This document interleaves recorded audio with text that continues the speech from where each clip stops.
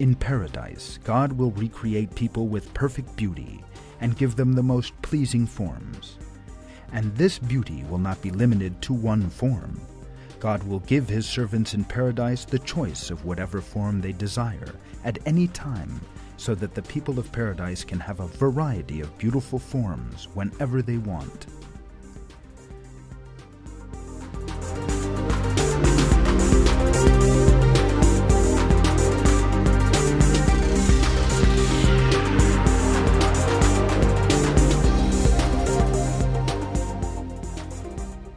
The prophet tells us that believers can select a form they like from the markets in paradise and assume it.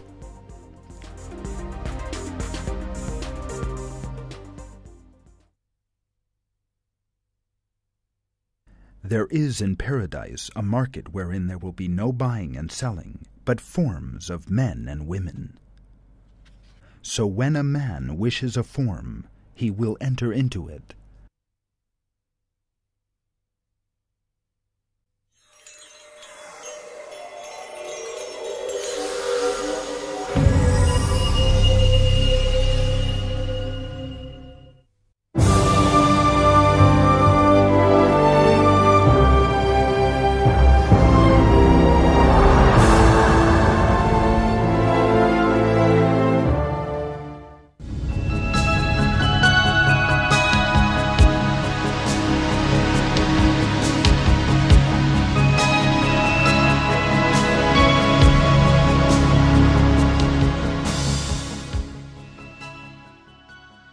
In paradise, God offers limitless blessings to those of his servants who have pleased him, but above all other blessings is the fact that they have won his favor.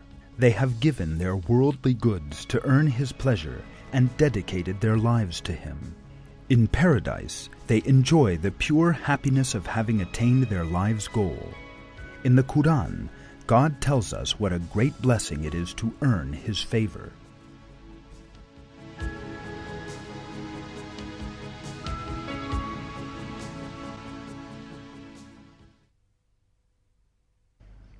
God has promised the men and women of the believers gardens with rivers flowing under them, remaining in them timelessly, forever, and fine dwellings in the gardens of Eden.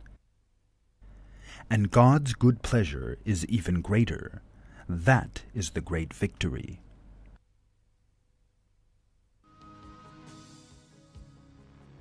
Another verse reveals that believers will enjoy every type of happiness in paradise.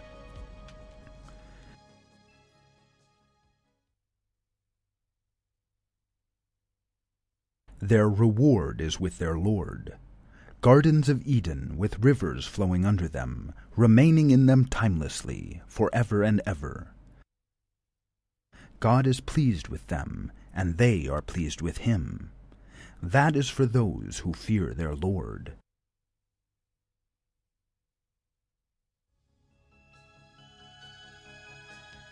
In a hadith, we are told that the people of paradise are pleased in God's presence.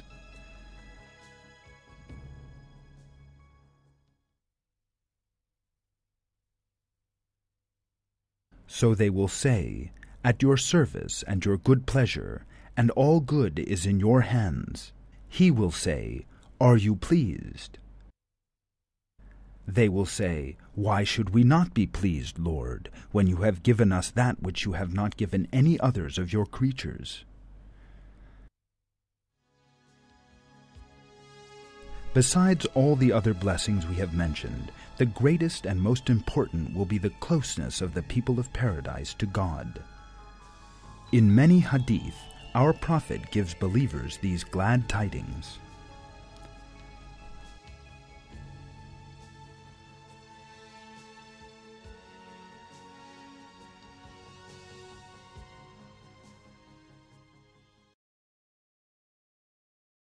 O Messenger of God, will we see our Lord on the day of rising? He said, Would you doubt about seeing the moon on the night of the full moon, and no screen in between you and it? They said, No, Messenger of God. He said, Would you doubt about seeing the sun, when there are no clouds between you and it? They said, No. He said, In the same way you will see him.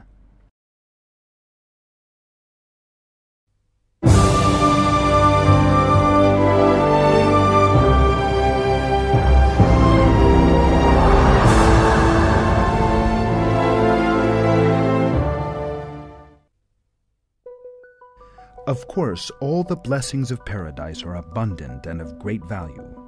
There is no place to go in the hereafter other than paradise or the fire. A person who is not accepted into paradise by God will go to the fire.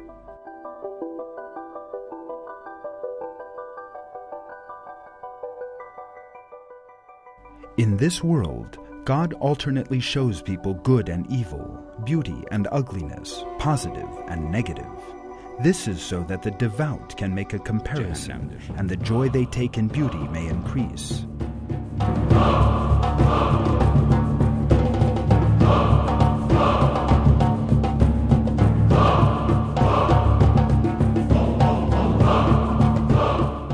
Some verses in the Quran demonstrate that God shows the people of paradise the state of those in the fire, which may also increase their contentment in paradise and their joy at being saved from the fire, and God knows the truth. The joy the people of paradise feel at having been spared by the mercy of God, the torment of hell is described in another hadith.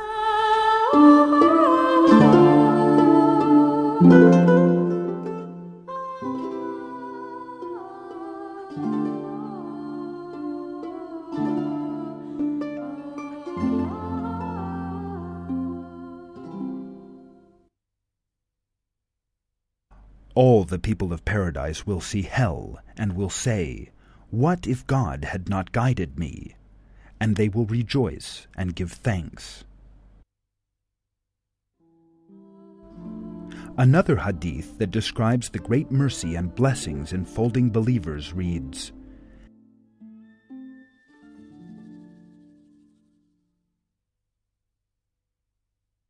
Entering paradise and escaping hell is all blessing.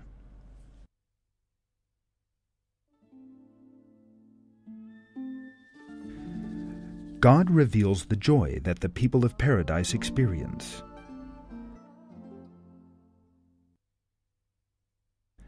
They will say, Praise be to God who has guided us to this. We would not have been guided had God not guided us.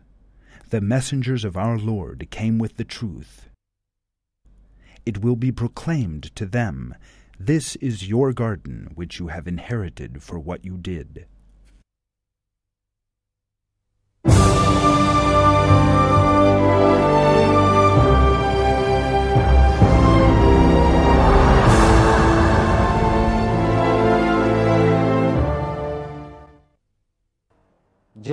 The immaculate nature and flawlessness of paradise is a beauty that people spend their lives in this world seeking but never find.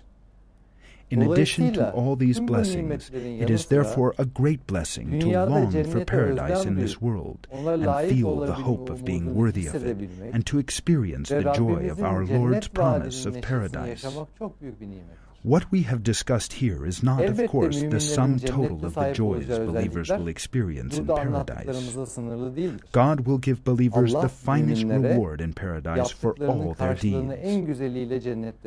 In the Quran, God tells us that the people of paradise live there in continual thankfulness and happiness.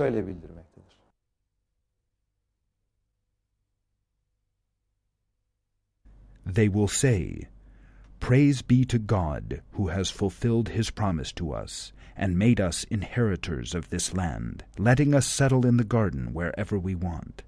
How excellent is the wage of those who work.